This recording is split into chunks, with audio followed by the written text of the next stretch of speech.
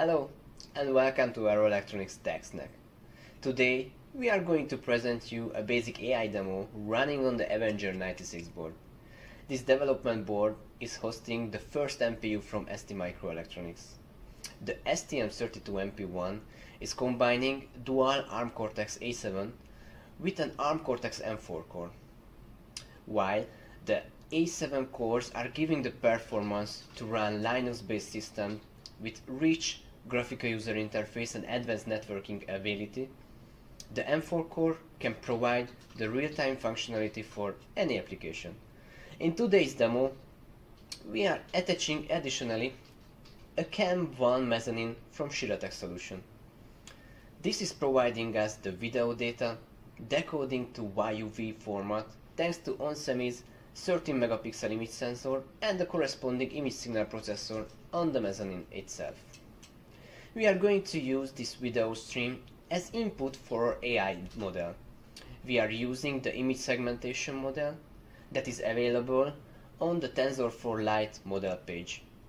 This model function is similar to the standard object recognition, but the output will be the segment or area of the picture that contains the recognized object instead of the probability value of the identified object class. So let's have a closer look on the demo itself. First, let's get through the data flow again in details. The camera module is based on a 13 megapixel image sensor from onsemi. It provides the video data in RAW format.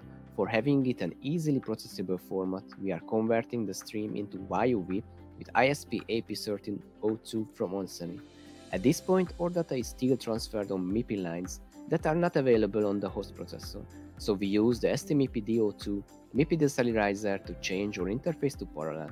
When the processor receives the stream, it rescales it for the AI model requirements and then combines the inference output with the original video input.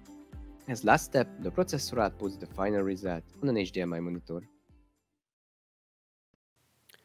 In our demo, we are using the output information of the model to apply well-known fake background effect on the video stream.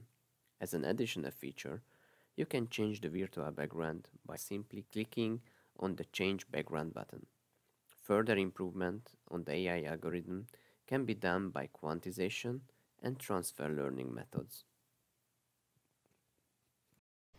If you are interested in the details please visit the product page of Avenger 96 or the CAM1 mezzanine at arrow.com to find more information and the complete guide for the demo. Please follow the Arrow Tech Snack next episodes to see other cool and interesting videos on the newest dev kits and demos.